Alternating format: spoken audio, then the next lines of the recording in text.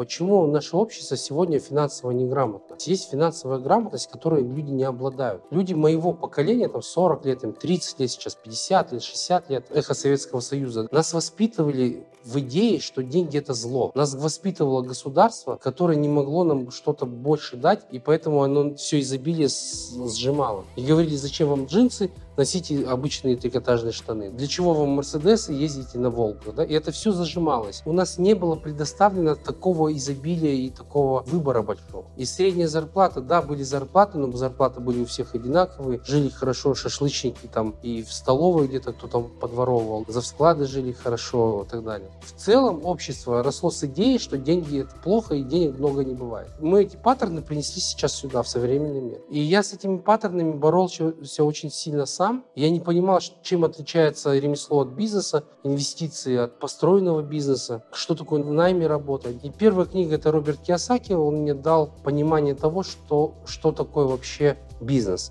Это «Богатый папа, бедный папа». Это первая игра заигрывания с деньгами. И на основании этой книги я начал играться со своими детьми. И у моих детей Сегодня есть деньги на карманные расходы. У младшей дочери есть столько, что она может покрыть свои, наверное, какие-то первичные расходы, там, ну, не знаю, на год вперед, мне кажется. Но она эти деньги не тратит вообще. У старшей дочери мы стали с ней играть, и было три года, мы стали ей давать деньги, которые ей заносятся на день рождения. И мы ни копейки оттуда не забирали никогда. И был момент, когда она захотела швейную машинку. И я, говорит, хочу, буду шить. Было уже, там, наверное, лет 7 или 8. И она купила эту швейную машинку, там, оверлок какой-то, какую-то навороченную, за 300 долларов по тем временам. То есть это, это были все деньги, которые тогда она дала. Для семилетнего ребенка, когда ты начинаешь копить с трех лет, но ну, это огромная большая сумма. Этой машинкой она не пользовалась. Она не стала швеей или кем там но она точно поняла, что перед принятием решения надо очень хорошо подумать, потому что ты можешь просто деньги заплатить за то, что тебе не надо. И это был ее первый урок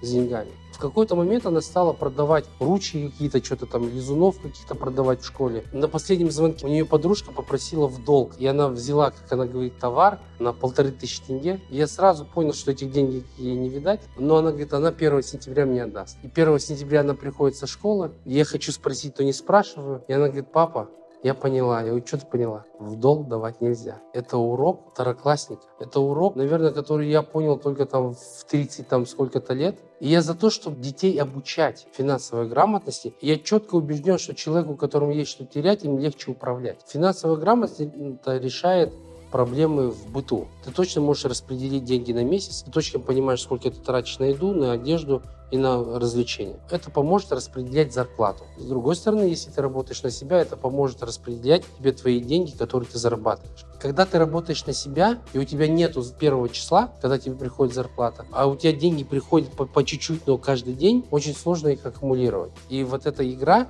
cashflow и само понимание денег, оно поможет тебе саккумулировать те средства, которые ты зарабатываешь. Потому что всегда неожиданные платежи какие-то возникают. И люди, которые не имеют финансовой грамотности, они всегда вот так ахтун-ахтун бегают по городу и занимают деньги. Хотя суммы-то и небольшие. У них есть, ну, в смысле, были, но они распределили их не туда. Финансовая грамотность – это привилегия богатых людей. Если ты хочешь быть богат, ты должен в этом разобраться. Причем это не прям финансы-финансы, это просто элементарные, обычные вещи. Это то, что платежи должны быть вовремя закрыты.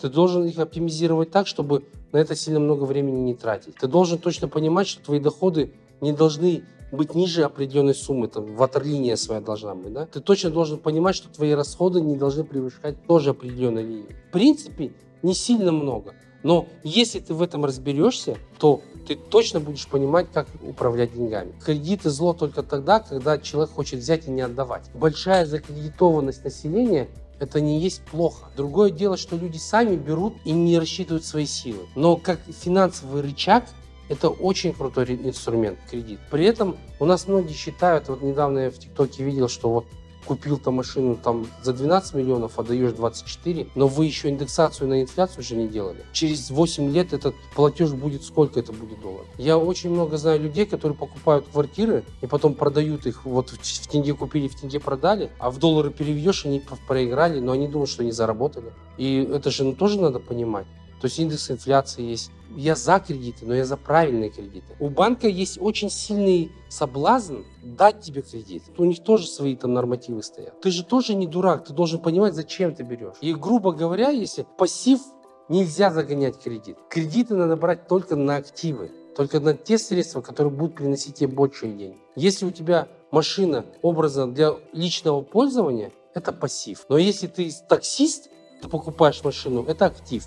И тебе кредит очень выгоден. Список рекомендованной литературы. Роберт Кiyosaki «Богатый папа, бедный папа». Квадрант денежного потока. Книжка еще есть. Если хочешь быть богат, не ходи в школу. Третья книга я думаю, это достаточно для того, чтобы войти в финансовую грамотность и понимать, что это такое. Еще я бы порекомендовал, у него есть игра, называется кэшфло. Хотя бы 8 раз подряд выиграй, и тогда можешь остановиться. То есть поиграй в нее, стоит не сильно дорого, не, можно ее купить вообще дома играть. Игра кэшфло точно ты поймешь, что такое актив, что такое пассив, ты точно поймешь, что такое денежный поток, и ты в этом разберешься. Но играйте до тех пор, пока вы 8 раз не выиграете. Все.